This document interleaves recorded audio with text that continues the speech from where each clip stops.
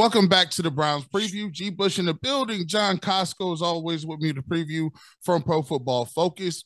I want to thank everybody for checking out the first two episodes Browns defense, Browns offense, Chargers offense, Chargers defense. We did both of those. Make sure you go ahead and, and, like those and make sure you watch those videos as well.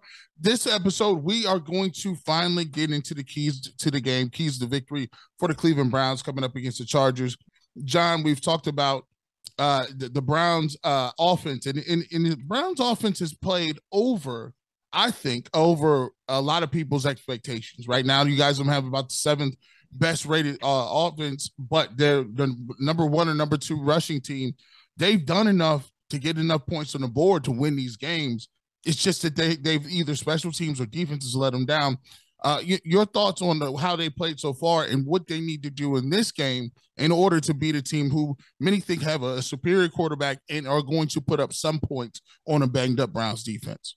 Yeah, I, I think they need to be, keep running efficient offense. Um, you know, obviously feeding the rock that Nick Chubb is has been you know good for them, but like they what they do well generally is switch things up in terms of keeping defenses off balance. So continue to do that. You've got, you know, Stefanski, it's kind of rests on Stefanski's shoulders to call almost perfect games. Not not so much perfect because I think Brissett does a lot of good things to to you know make up for maybe you know, hey, we need to sneak it on fourth and one. We can sneak it on fourth and one, but also defenses know that, and then you can play off of that as well. So you, it's not it's a luxury you didn't have last year. Um, so I think continue to keep de- defenses off balance from an offensive perspective, and just continue to put up points. You know, you talk about they've they've tied the Jacksonville Jaguars for the sixth most points scored in the NFL through four weeks, which is insane.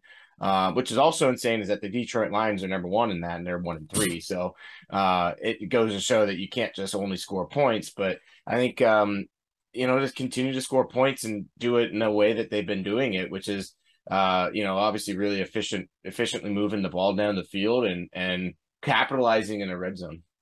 Um, you know, we looked at uh, Nick Chubb in this game, and we, we talked about it earlier in, the earlier episodes when we looked at the Browns' offenses. You know, Nick Chubb is right now, uh, I think, third or so uh, in the in the league in carries. Um, we haven't talked about Kareem Hunt a lot. Uh, it looks like Kareem Hunt is averaging maybe somewhere between ten to twelve touches a game.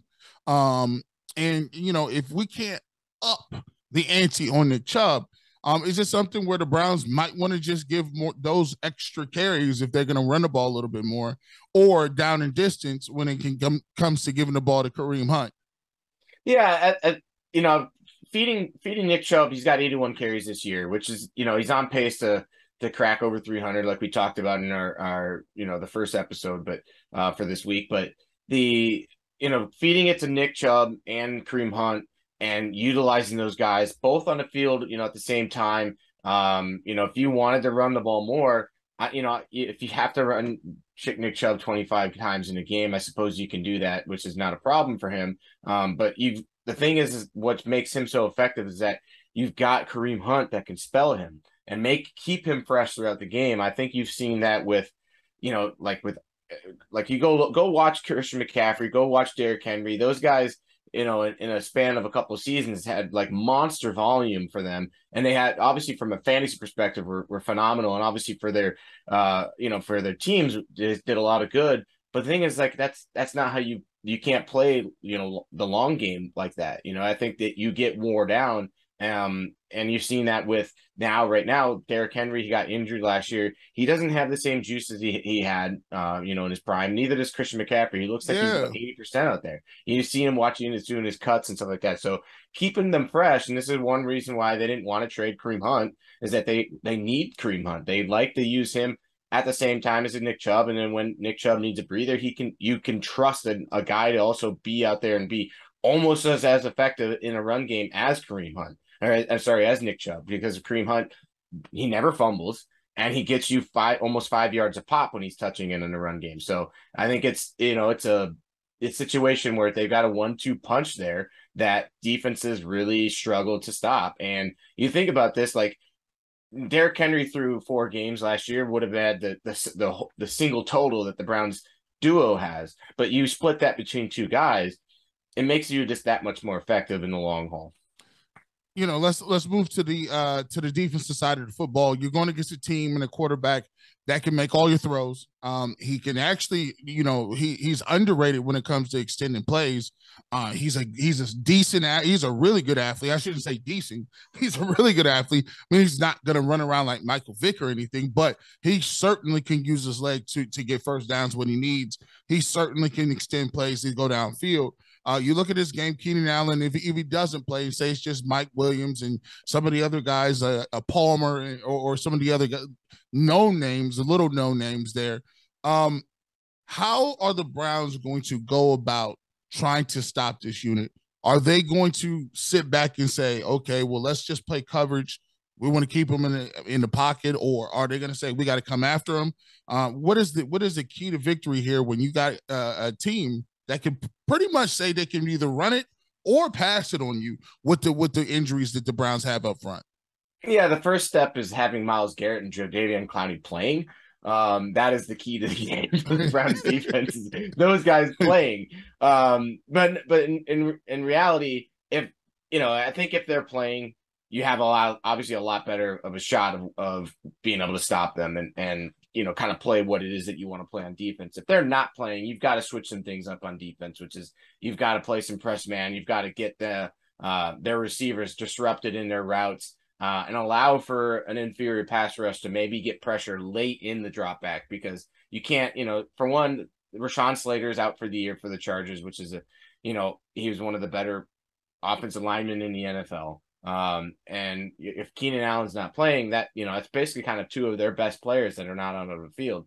You know, they got they got I think Jalen Guyton is also out, who's another really good player for them as well. So it it brings down, hey, you've got Mike Williams, like you talked about Josh Palmer. Um, they got they got a good player and a backup running back in Joshua Kelley. Um, you know, to help spell Austin Ekeler. But the thing is, Ekeler out of the backfield is one of the best pass, you know, catching running backs. So you've got to have, you know, JOK is gonna gonna got to have him be on him.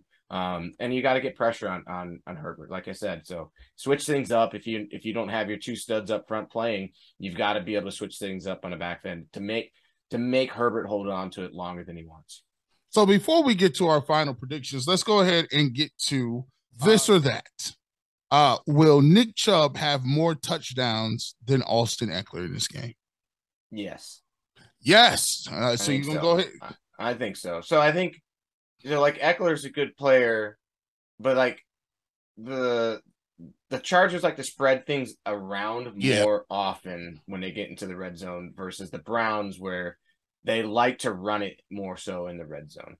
I agree. I think I think they'll be super. I think Stefanski will have uh, ears, and he knows that people are going crazy. Talk about why are you passing the ball in the red zone?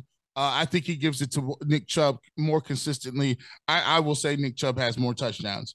Uh, will the Browns hold the Chargers to less than 330 passing yards? That's a big number. That's that's a real that's a, big. That's number. a really big number to say that they that they won't. And I think for for Herbert, he's got 1250 on a year.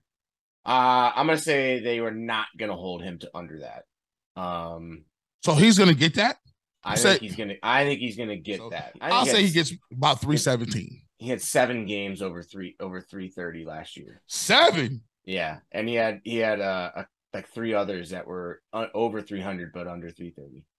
So oh, yeah, man, I might he, he, he puts him up. He puts I him might, up. I'm just I might want to change. I, I I might want to change that. I wouldn't be surprised if he hit that 330.